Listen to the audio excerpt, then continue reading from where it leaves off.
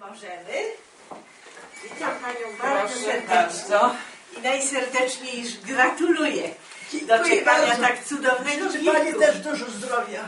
Zdrowia, zdrowia, Tak. jeszcze raz zdrowia. Proszę przedstawić. To jest list od Pana Prezydenta Dziękuję bardzo. z gratulacjami. Stasia, weź Ja. kwiatki. Tak, tak, ja Tak. wezmę. Zaraz tylko wypuszczę pana ktoś do domofonu. Przepraszam jeszcze. Dobrze. Proszę.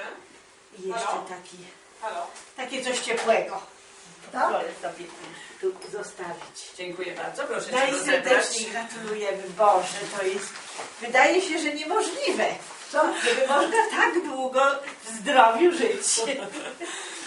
Jak sobie pomyślałam. Pani recepta na tak długie życie. Co trzeba zrobić, żeby d- d- osiągnąć 100 lat? Stasia, mów mi. Co trzeba robić, żeby 100 lat dożyć? Ciężko pracować. Tak? Tak jak ja pracowałam ciężko. I wysiedlenie, i, i prawda, i bieda, i wszystko. I, i, jak się mówi, i wojna, jedna, druga. A jak długo pani pracowała? Gdzie?